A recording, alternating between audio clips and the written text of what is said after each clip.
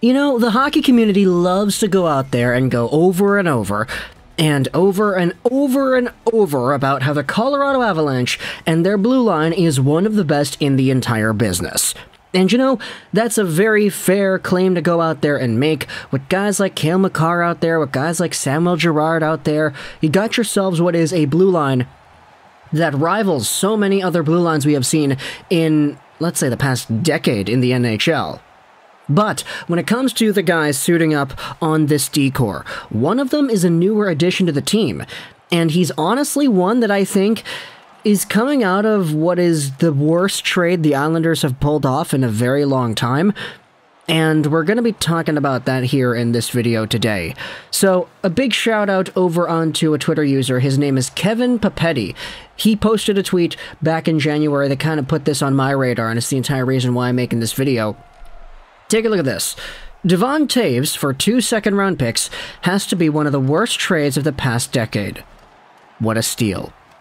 Now, the tweet has 14,000 likes, so there's a lot of people that went out there and were sharing this around, and it's kind of how I saw it as well. Let's go over Devon Toews. He is a Colorado Avalanche defender, as you kind of know right now, and his entire profile, why he got traded, and what exactly the Islanders got for this guy, who is now performing the way he is. So, starting things off, Devon Toews is a Colorado Avalanche blue liner. He's 27 years old, 6'1", 192, a left-handed guy making $4.1 million a season till the end of 2024. Now, this contract was signed by the Colorado Avalanche when they acquired this player in a trade from the Islanders because it was initially drafted by New York in 2014. They traded for the signing rights for Devon Toews, not Toews himself. This is because back in 2020, you had yourselves Devon Toews coming off of a year where playing for the New York Islanders, he had himself 28 points in 68 games played. He had just played his second NHL season, and he was kind of in a position where a lot of people were like, okay, yeah, he's good. He had spent such a long time developing. He had played in the Surrey Eagles system back in the early 2010s, so the BCHL. He was playing with the Abbotsford Pilots in the PJHL, so Junior B hockey. This guy was on a path of development.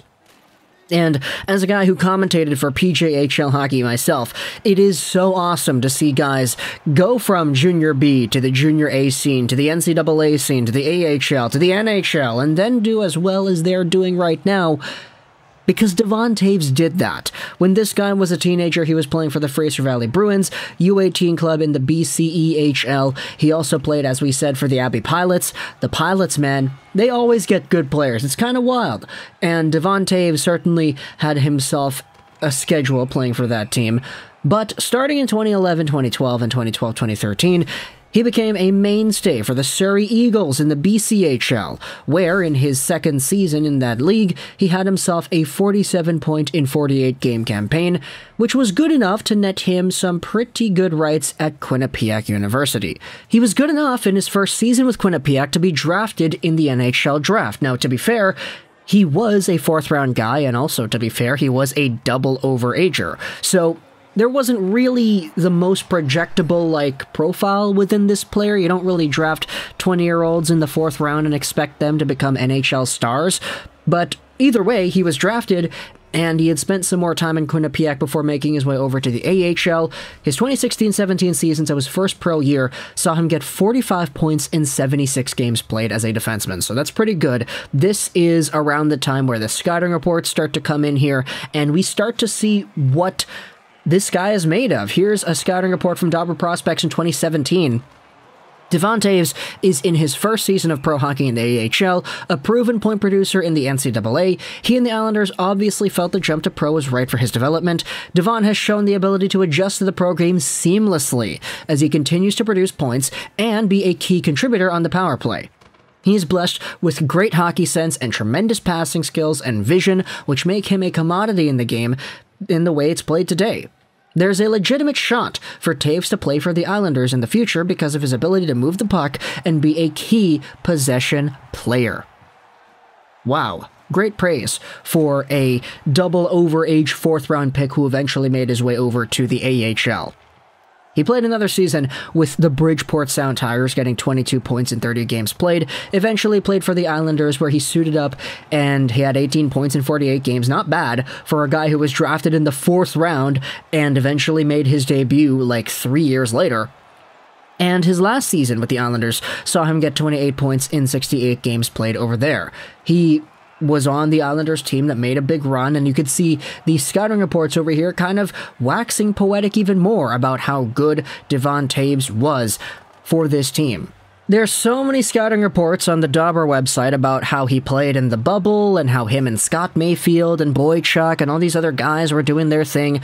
It pretty much just summarizes the game, so I'm not going to go ahead and read any of these over here. But long story short, Devon Toews in 2020 was seen as a very good player who got 10 points in 22 games and who needed a contract. He was an RFA, even though he was this guy taken at 20 years old in the draft and he played more seasons in the NCAA and the AHL. He needed a contract. And so there was somewhat of a problem here that Lou Lamoriello had to face, and when it came to the way this team and their salary was constructed, you kind of had to bite the dust on at least one of these players. And Devon Toews was that guy. Toews received a qualifying offer, but he eventually filed for salary arbitration. So the Islanders, in their attempt to go out there and make their salary cap work, traded Devon Toews to the Colorado Avalanche for two second round picks.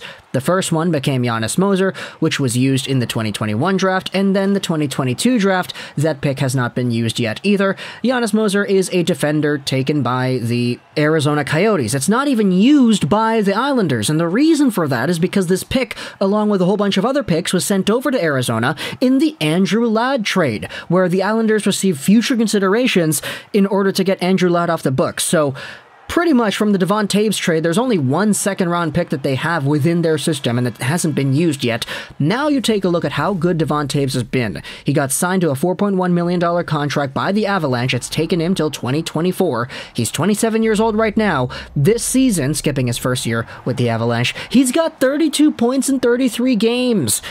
He's a point per game defender on a team that has a few point per game defenders. Okay, they only have one other point per game defender in Cale Makar, but it sounded cooler in my head when I said it like that. And still, Samuel Girard, you have a whole bunch of really good players that are doing their thing. Obviously, Bowen Byram was good when he was in the lineup. Unfortunately, he was taken out though. So, you have yourselves Devon Toews, one of the mainstay blue liners on this team. He has exploded offensively, and he was acquired for two second round picks, one of them the Islanders don't even have anymore. That second round pick that was used to draft Janis Moser was pretty much used as a ticket to allow them to free up money for Andrew Ladd. Like, Lamoriello needed to make this move and trade away Devon Toews in order to free up salary, and he just used the return to free up even more salary. That sucks, dude. And it's super unfortunate to see for the Islanders and their fan base how things went down because you're not going to see the return for Devon Toews actually do anything on your team until you use that 2022 second round pick and you wait for that guy to develop and everything. So, the Islanders, yeah, it's unfortunate, isn't it? I know the Islanders have not been great this season, so I kind of am dancing on their grave in a way with this video over here, but Come on, you gotta call out bad trades when you see them. And this one was made two years ago, or it was made a year ago, pretty much, because it's the beginning of 2022, right? And now, just looking at the benefits and the trade return, it very much is not one that I think a lot of Islanders fans want to think about because this guy, I mean, he's a great player. He was a great player back then. It was just a difficult decision that Lamoriello had to make in order to free up the necessary money to allow your team to exist in the proper way. And now Devon Toews has really blossomed into what he was able to be back when he was drafted as a double overager in the 20 14 NHL draft. So talk to me in the comments if you're an Islanders fan. What do you think about Devon Toews and the draft pick that you got for this guy? I say draft pick and not draft picks because you sent one of them away in the Andrew Ladd trade. And Colorado Avalanche fans, Joe Sakic does it again, eh?